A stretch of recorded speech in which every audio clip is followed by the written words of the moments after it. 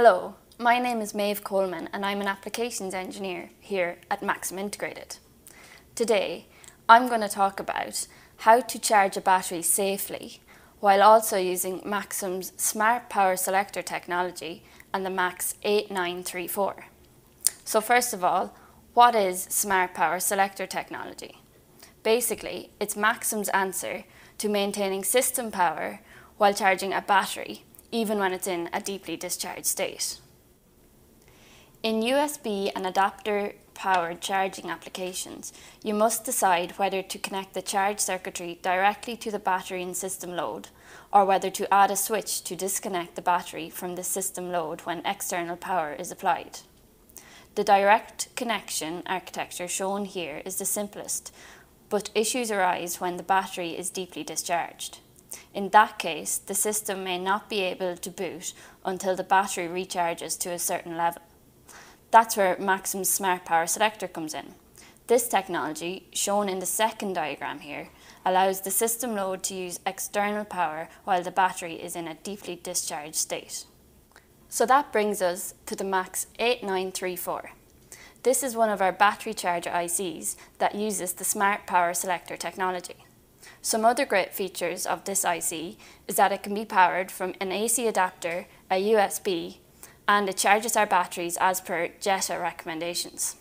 But we'll get on to that later. Here I have the MAX 8934A EV kit. This circuit charges a single cell lithium ion battery from either a DC input or USB and maintains system power from either input or the battery itself.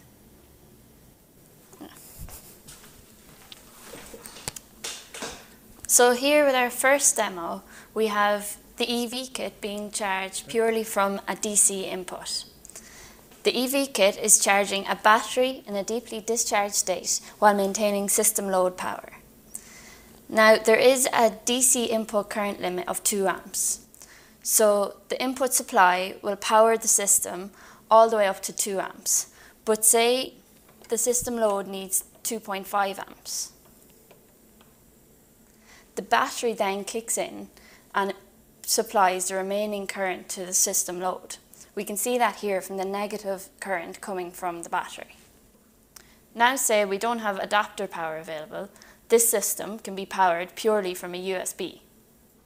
We are powering here the system load while charging my battery purely from the USB port on my laptop. And as with all portable applications, there will be times when you have neither an AC adapter or a USB input.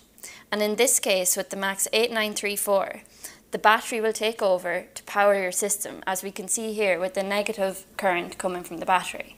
Another great feature of the MAX 8934 is it charges batteries safely as per JEITA recommendations. JEITA stands for Japan Electronics and Information Technology Association. They have developed protocols to ensure battery safe charging at elevated temperatures. So when the battery hits its upper or lower temperature limits, the charging current, the charging voltage, or both are automatically decreased to ensure safe charging. So here with the MAX 8934 EV kit, we can put on jumper 17, which connects a potentiometer to the THM pin and acts like a thermistor, just for the purpose of this demo.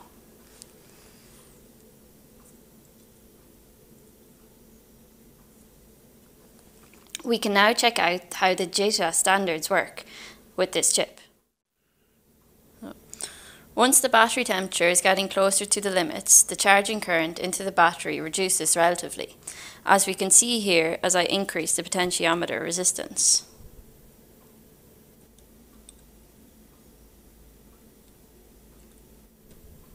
And as it comes inside the limits again, the charge current increases again. This property ensures battery safe charging.